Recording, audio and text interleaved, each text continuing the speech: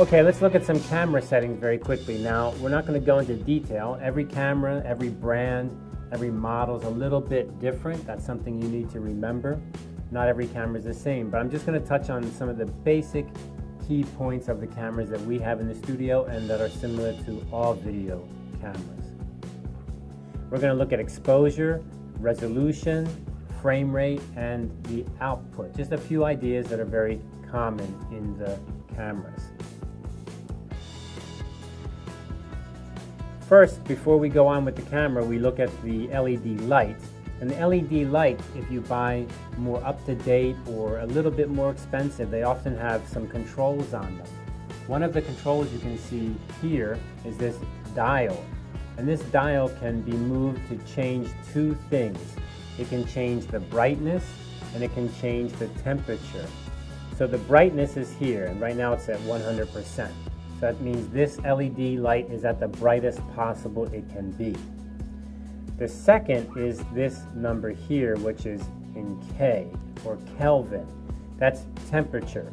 So 4,500 or 4,500 degrees K means the temperature of the light.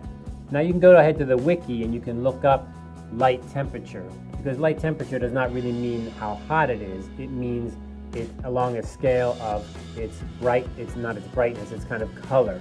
So it has, it has different shades of color depending on that K value. So maybe, for example, your phone or your computer at night can change its color temperature to be a little bit more blue, is it? Or a little bit uh, less white, a little bit less bright, a little bit less, is it less blue? I can't remember what it is. So it takes away some of the color that will make you stay awake. That's the color temperature. So it's not really the temperature as in making you feel hot or cold, it's the visual temperature of it. Okay, so those lights have that temperature control. Why is that important for a camera? Because your camera also is very important in getting the right kind of color temperature. So here's a typical camera. This is a Sony camera that we have in the studio. And most Sony cameras follow this, although different models, again, can be different. And if we just look on the outside of the camera, what are some of the important buttons we see? Now remember, when you're using a camera, any camera, even a even a, a, an amateur camera or a still photo camera, some buttons are on the outside, but lots of controls are on the inside, inside the menus, inside the software. So why would some controls be on the outside and some controls be on the inside? Well, controls that are on the outside on buttons, they must be really important. The buttons on the outside are the most important, the most often used controls. So these are the things you really must know. If you don't know these, you don't know the most important things of the camera. So what do we see on the camera? Well, the first thing we see is obviously these rings here. So this is the focus ring, and this is the zoom ring, and this is the f-stop ring. So the focus, the zoom in and out, and then changing your exposure, your f-stop here. Now these are manual. In some cameras, you do not have the ring you can touch with your hands. You have to use a small dial. And in some cameras, you don't have this at all. It's totally automatic. But in professional cameras, you'll always have something like that. The next thing we look at is down here we have a couple buttons and one of the buttons is gain. So what is the gain? The gain means how sensitive to the light the camera is. So if you turn the gain high, you can film in more darker locations. If you turn the gain low, you need more light. So why would you not just always use the gain very high, high sensitivity? Why not? Because as your sensitivity goes up, the quality of your picture goes down. And in video especially, you get something called noise, where the dark areas look kind of jittery, unclear, and even the light areas can look strange and unclear.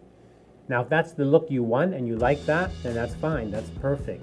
You could probably turn up today's cameras to high and shoot in a very dim room with no lights or just moonlight sometimes. Some cameras are so sensitive, but the quality of the picture will definitely be lower. So in our studio, we always try to turn the gain down as much as possible. So we want the gain to be low. Lower gain means higher quality in the video, but it also means you need to have more lights. The next thing we see here is white balance. Now white balance is a key point that's related to this temperature here because this temperature is the color of the light. This is telling us it's the color. And what's the white balance going to tell us? This white balance is going to tell us what is the temperature of white in this shooting situation. So I'm going to make a video inside the studio. My camera needs to know what is white. If it doesn't know what is white, it needs to guess. And if it guesses wrong, then all the colors it records would be a little bit wrong. So the camera needs to know what is white. Now how do we tell it what white is? Well, one way is we can use a white card. We can hold up a white card, something that's white, and uh, expose the camera, push that white balance button, and it will go ahead and it will tell us what, it will confirm, hey, that's white. Okay, good, we're gonna go ahead and film white. But usually in the lab, we have a preset temperature and we match the lights. So the key point here is my lights are 4,500 degrees. So I go ahead and I set my white balance for that also. So I've set the lights to be white. This is my white, my defined white, 4,500. And then on my camera, I go ahead and set that at 4,500 too. Okay, so you can either use a white card or you can manually set your white balance. Very important not to forget, otherwise it's hard to fix later. And the next thing we have is shutter speed. So shutter speed is how, basically how long, how slow or how fast is your exposure. So if you have a very slow shutter speed, say 30, then that means that the exposure to the light is slow, the opening to the film, which we don't use anymore, would be longer. A fast shutter speed would mean shorter, so the exposure is not so much. So you can go to Wiki and check that out. It's, it's pretty straightforward in thinking that slower shutter speed means a longer exposure. Faster shutter speed means a shorter exposure. So if you have a longer exposure, what does that mean for the light? It means you need less light because more light's coming in every second of your exposure, more light is coming in, and so you don't need so much light. On the other hand, if you increase shutter speed, that means that the time of exposure is very short. If you did it to maybe 60 or 120, 120 would mean 1 20th of a second. 1 20th of a second would be half or half as long, half as double the speed of uh, 60. And 30 would be half again of 60. So each one of these is a half, 30, 60, 120. And what does that mean for the light? As you go faster, you need to double up your light every time. So 30 to 60 is double the light, 60 to 120 is double the light, and the same is true the other way. If you go down, slow down, then you can have less light because more is going to come in. So the shutter speed is quite important.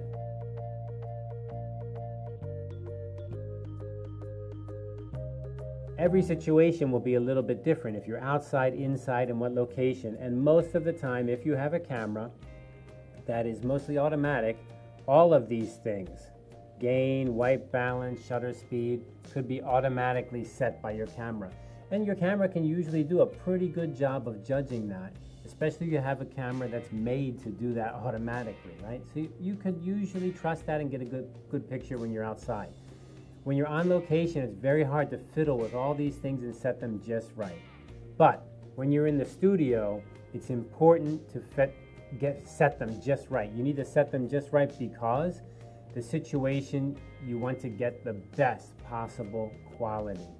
So in that case, we set all of these manually. Now, for our studio, there's one special consideration for the gain, that is, keep it low.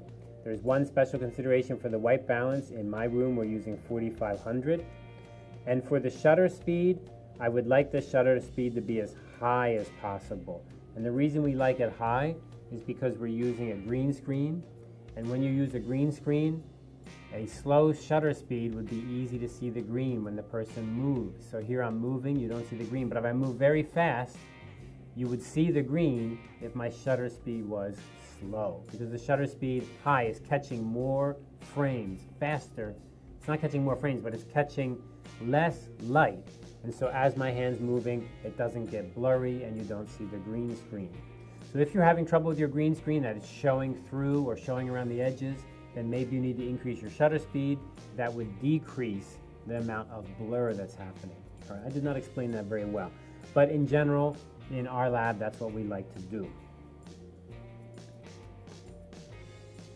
Here's another Sony camera. Now this is interesting because it's, again, a Sony camera. It's made for a studio. It's made to be taken out to location too. It's a very versatile kind of camera, but it has a totally different design on the outside from the other Sony cameras we have? Well, sometimes Sony tries different things, they test things, and people can decide if they like them or not. But for us, we just need to see does it have the things we need. So here we see that on this camera, you need to open up the LED screen, and then inside you have these controls.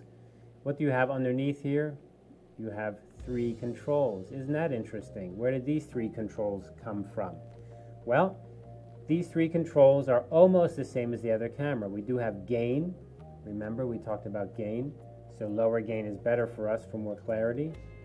We also have shutter speed. Look at that. Shutter speed is right there. So that's telling you shutter speed is very important. White balance is up here. So that's a little bit further away, but it is still a button. Then over here they have iris. Iris is your f-stop. Remember on the camera I just showed you, there was a ring near the lens, and that ring you could turn to make the f-stop change. On this camera, you only have one dial, and that dial, down here, a little tiny dial, is what changes the iris, and you need to push the button to decide which control is that dial changing. So if you press iris, then you turn the control to up or down your iris. If you do gain, then you move this control to up and down your gain. If you do shutter speed, then you use this control to up and down your, uh, increase and decrease your shutter speed. Eh, not the best design in the world. Nah, it's kind of like a little bit silly and annoying. Of course, the bigger camera where you can touch everything is much better. But this camera gives very good picture, has good quality, and its price was much lower, so we bought it. So from your perspective, what do you need to know? It doesn't really matter what company, what brand, what model you use, you're going to have these key points, and they're probably going to be on the outside of the camera. White balance, gain, shutter speed, and then focus, zoom, and iris or f-stop. You're going to have all of those things for sure on the outside for easy access. Here's what we see when we're looking at the screen of our camera. And again, the outside has the buttons, but the screen will also have the readouts for things that are very important. So let's look here. What do we have? First of all, we have here our output. This is what's the video we're sending out. And this is 1080, that's the resolution, and this is the frames, 30 frames per second. So we're sending out 1080 resolution at 30 frames a second.